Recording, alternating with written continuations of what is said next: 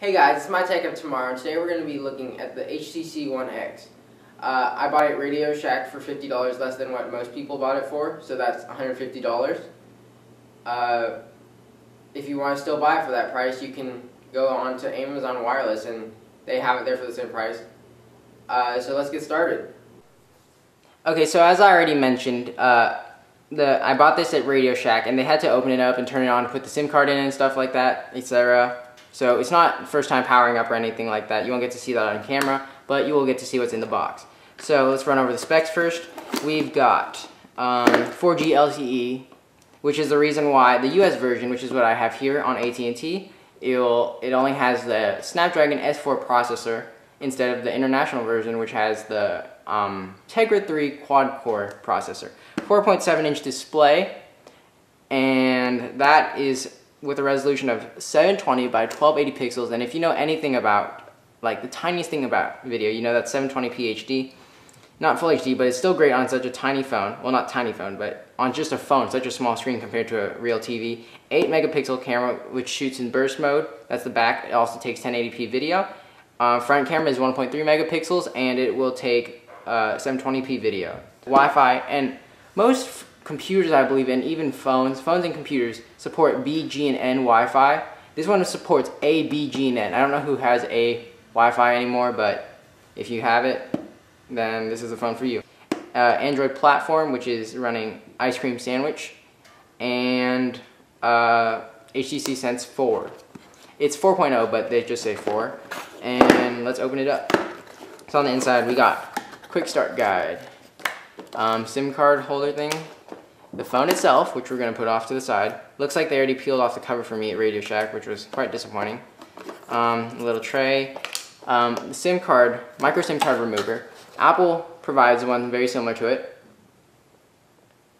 And that's what it looks like, and it's just to get the micro SIM card out, which is not that amazing. Here are the specs again. Looks like we've got um, a micro USB to USB charging cable. I'm sure of that. And we've got a regular US wall to a regular USB thing and some useless paperwork at the bottom. So that's all we got. Now, as for the phone itself, we've got it here. It looks really sleek. Um, at first glance, you can see, well, let's run over what it's got. You're rocking some Beats audio enhancement. Okay, I love it when the camera focuses like that. Um, FCC warnings, etc. Back camera with single LED flash. Uh, micro SIM card slot, which is right there. And if we can get the camera to focus, there we go. Lock button right there, lock power button. Um, additional microphone for voice or noise cancellation. 3.5 millimeter headphone jack. Oh no, sorry. This was the, the ejection spot for the SIM card, and this is the noise cancellation microphone. On the left side, you got the micro USB uh, charging port. Continuing to the bottom, you got a single microphone. So on the right side, you have here your volume rocker. Now that's a little irregular because normally it is located on the left side on most devices such as the iPhone, etc. And I, it's really bugging me that the camera's not focused right now. There we go. Anyways, not wasting time on trying to get the camera to focus anymore. On the front you have three capacitive buttons right here. The home, lock, and recent apps. There we go, I'll get it to light up for you. Um, there, I'll zoom in too. You got your um, home, back, and recent apps uh, capacitive touch buttons. 4G LTE. Uh, if it were an HSPA Plus, it would have a little H, not a 4G logo. So, um, you got that. You got seven home screens in HTC Sense 4 instead of five in stock Android. Um, now, just to do a quick test, I'm going to do a speed test on the 4G LTE speeds for you. And I'll be right back once I've downloaded the app. And begin test. It's connecting to San Francisco. Ooh, I'm going to change it to megabits per second down. and this is actually quite disappointing because I thought I was getting HSP, uh, I thought I was getting LTE speeds, but it looks like I'm just getting um, HSPA plus because 2.0 isn't that great.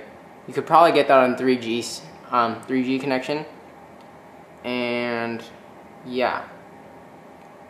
Now let's we can test to see if this is the capacity of the phone by connecting it to my home Wi-Fi network. Well, okay guys, so now we got it connected to my home Wi-Fi network, as you can see right there. And we will begin the test. Now remember this has the uh, like the ability to go up to 10 megabits down. And okay, so it looks like uh, I'm getting about half a megabit down, which is really disappointing compared to the 10 that I normally would get on a computer. And um, I'm just going to conclude that this is a mess. Like, a, yeah, as you can see, that's a really obscene upload score for, because uh, I only normally get about 0.4 megabits per second upload. So I'm just going to conclude that this is just the super obscene mess up of speedtest.net app. Before I go, I forgot to show you two features on the phone earlier. There's actually a glowing LED light to show you charging behind the speaker grill. On the back, you got some dock ports right there on the phone for future docking. And one last thing is a front-facing 1.3 megapixel camera located at the top right of the front of the phone. If you learned anything from this video, please remember to rate, comment, and subscribe. Until next time, this has been My Tech of Tomorrow.